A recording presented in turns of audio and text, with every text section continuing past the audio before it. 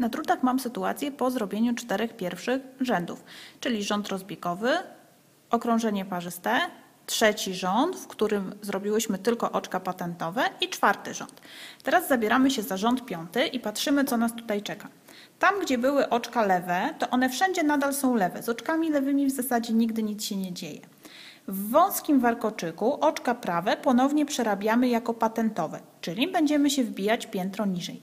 Ale czeka nas pierwszy zakręt głównego warkocza, a tak naprawdę dwa zakręty, jego lewej i prawej części, a raczej lewej i prawej. Jak to kobieta zwykle problemy ze stronami. Zaczynamy zatem od początku. Oczka lewe na lewo, tutaj nic się nie dzieje.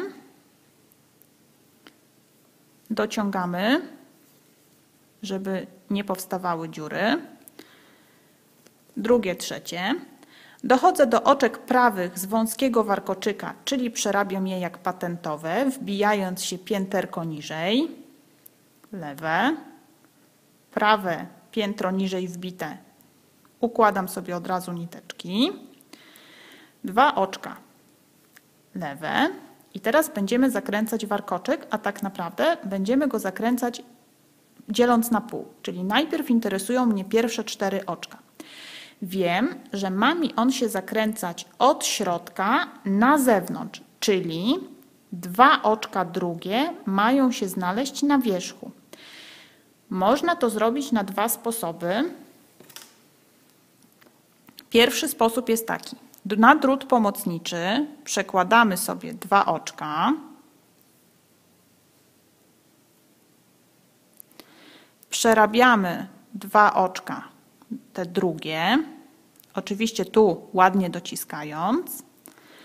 Z tyłu te dwa oczka lądują mi na, z powrotem na drucie. I przerabiamy je spokojnie na prawo. Patrzymy, czy wszystko się zgadza. Zgadza się. Zakręciło nam się od środka na zewnątrz. Czyli to była jedna możliwość. Teraz uwaga. Ja to spróbuję. Bez paniki. Łapię sobie oczka.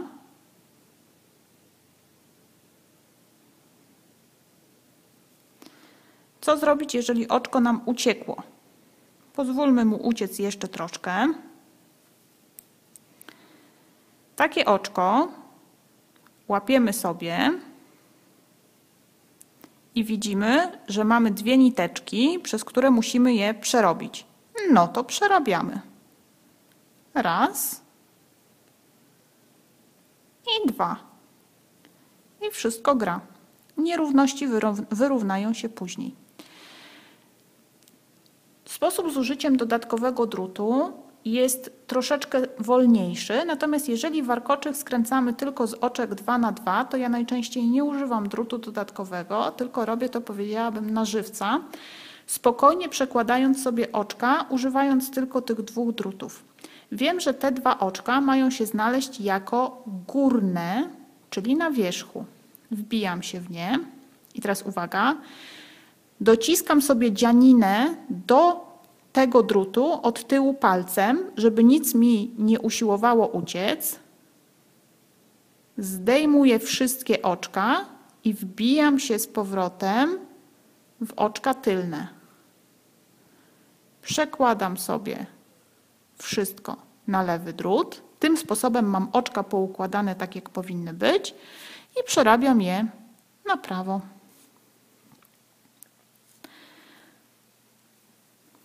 Jedna część warkoczyka skręcona. Teraz, jak w lustrzanym odbiciu, oczka środkowe mają się znaleźć na wierzchu, czyli te dwa oczka, trzecie i czwarte, mają się znaleźć z tyłu. Wbijam się w nie. Dociskam sobie dzianinę, żeby mi się nic nie pruło. Wszystko zdejmuję z lewego drutu i lewy drut wbijam od przodu w oczka środkowe.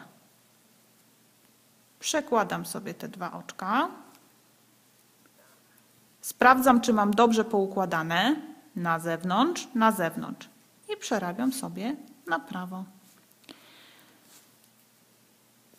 Tym sposobem warkocz jest zakręcony po raz pierwszy. Przerabiamy pozostałe oczka, czyli lewe, prawe patentowe, bo to jest rząd, a raczej okrążenie nieparzyste, lewe, prawe patentowe i trzy do końca na lewo. Zrobię teraz lewe oczka na dole i okrążenie parzyste, czyli wszystkie oczka tak, jak mi schodzą z drutu. Pilnujemy, żeby oczka nad pozakręcanym warkoczykiem robić dosyć ściśle, żeby nie wyszły nam niepotrzebne dziury.